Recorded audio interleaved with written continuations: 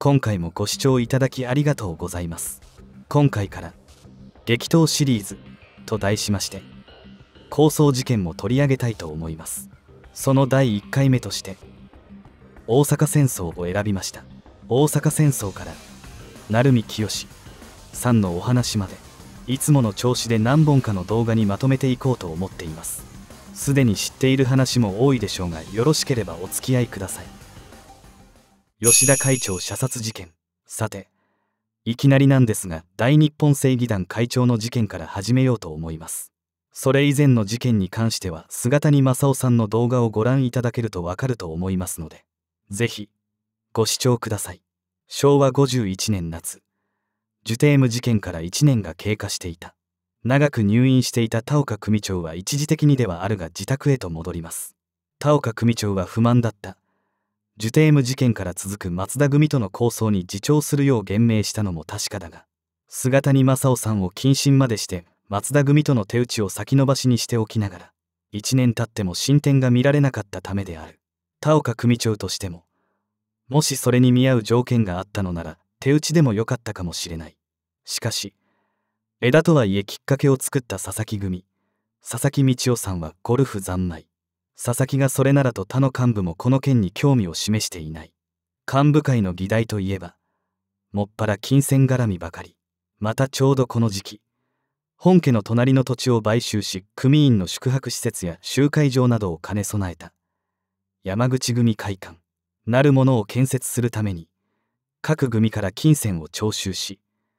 東洋信用実業という会社を立ち上げたが当局が国土法などを理由に妨害してきたため建設が始まらないまま2年間組員専用の駐車場として使用していた。この投資金をめぐって返金を求めるなどその内容は商工会議所のようなありさまでした。煮え切らない対応に田岡組長はしびれを切らし若頭山本健一さんを本宅に呼び出し質問しますあの件はどうなった？山健さんは罰が悪かったが顔だけは真剣な表情で分かってまもう少し時間をくださいと答えるとそそくさと本部事務所に戻り佐々木さんを呼び出しまるで責任転換をするかのように苛立ちを表情に出します。道夫松田組とのことどないなっとるか説明せ普段は比較的穏やかになってきた山健さんでしたが佐々木さんもこの時ばかりは元親分。地道幸雄さんに勝るとも劣らない威圧感を感じます。へえ。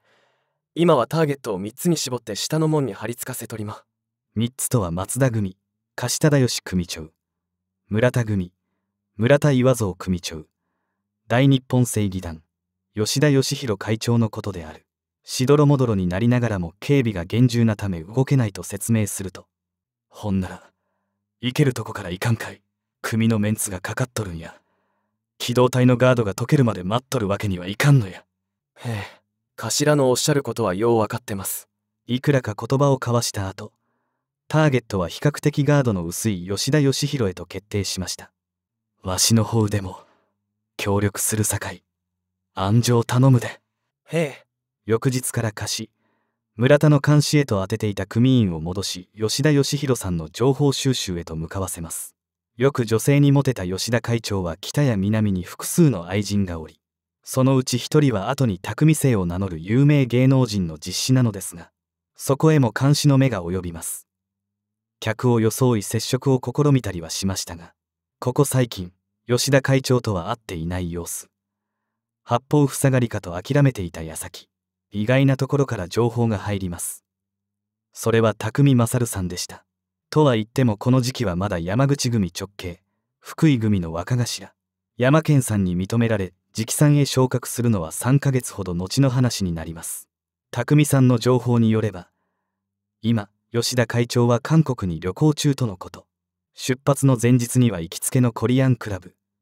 新羅会館で合流しそこで愛人でもあるホステスに日本に帰国したらその足で電気屋で家電を買ってやる約束をしてるというのである。そして帰国の日付は10月3日。かなり具体的な内容ですが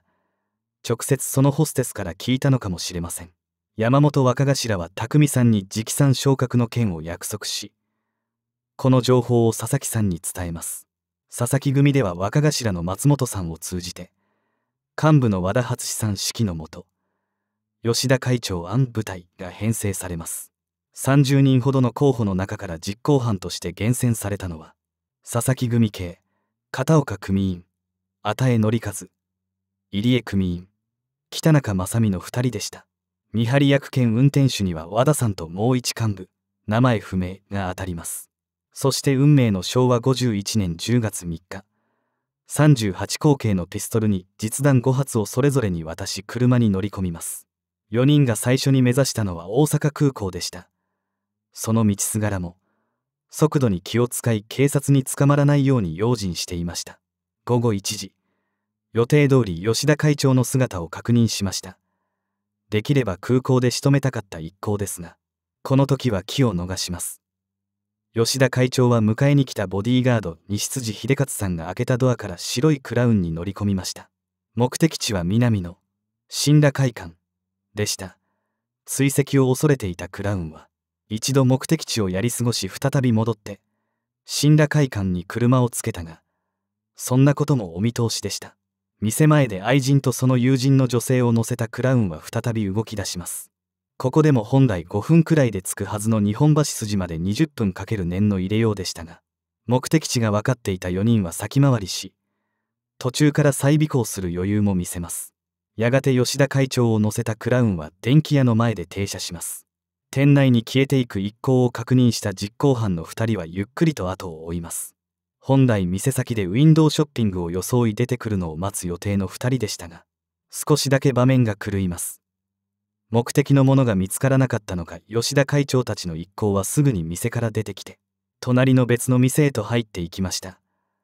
思いがけない行動に一瞬だけ焦りましたが2人は隣の店の店頭へと移動し一行が出てくるのを待ち構えます。実際はそれほどでもなかったのでしょうが長く感じる時間が過ぎた後店の奥から笑顔で出てくる愛人とその友人の姿が見えた。両手に荷物を抱え実に嬉しそうに喋りながらこちらに向かってきます。少し離れたその後ろに吉田会長の姿を見つけました。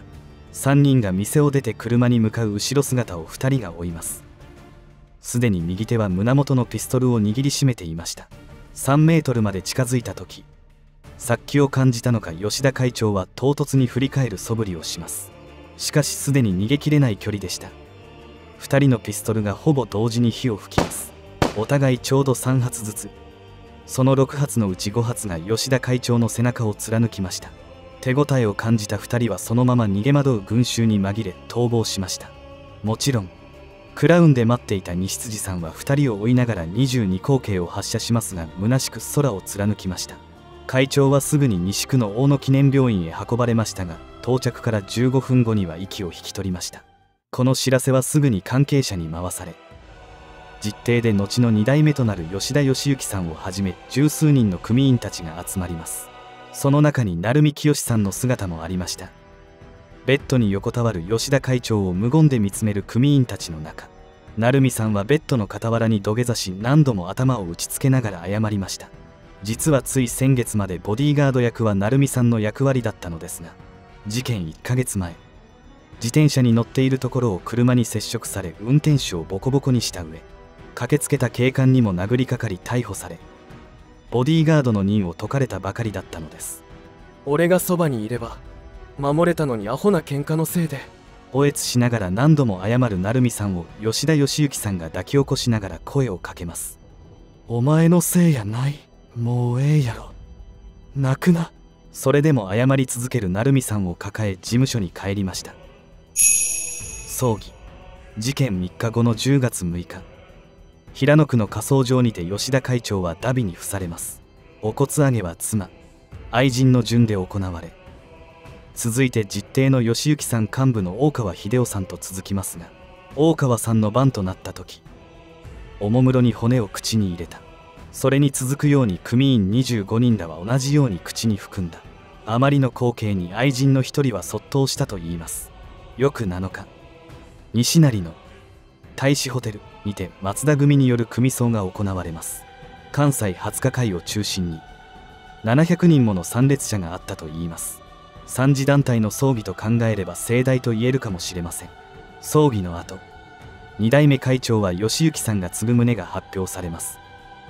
20日会の来賓からは無責任にも何よりの手向けは仇を討つことやと声をかけられましたまたこの事件をきっかけに当初は指一本腕一本取られても手打ちに持っていきたいと山口組との構想発展を危惧しまた実際に働きかけていた松田組樫忠義組長は一転して態度を硬化させました。こうしてさらなる悲劇が生まれる土壌は出来上がっていったのでした。といったところで今回の動画は終了といたします。続きが気になる方は高評価チャンネル登録もお願いします。それでは次回の動画で。